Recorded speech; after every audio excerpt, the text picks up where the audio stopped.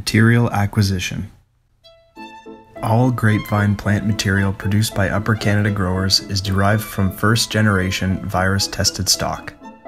This originates from the Canadian Food Inspection Agency. 5 to 10 scions and 2 rootstocks will be sent to the GRIP lab at the University of Guelph.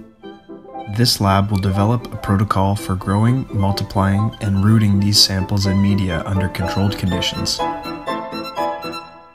Once optimized protocols are developed, the plant material will be sent to the Covey lab at Brock University. This lab will check again for the presence of viruses. Once the plant material is confirmed virus free, it can then be shipped to Hopetown Plant Labs. Lab Process after arriving at Hopetown Plant Labs, the virus free material will be stored in an isolated, climate, and light controlled room.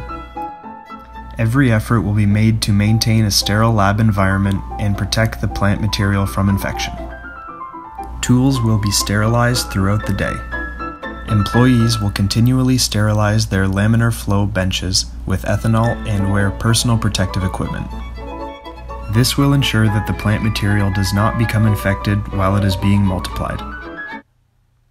Monitoring and recording. We will regularly monitor our plant material for visual signs of viruses and other diseases. If needed, we will conduct tests for the presence of viruses. Records will be kept of these inspections, as well as other details that will enable us to keep track of our stock and ensure that we meet production timelines. This technical and scientific process will allow us to be the first company to produce certified virus free grapevines in Canada.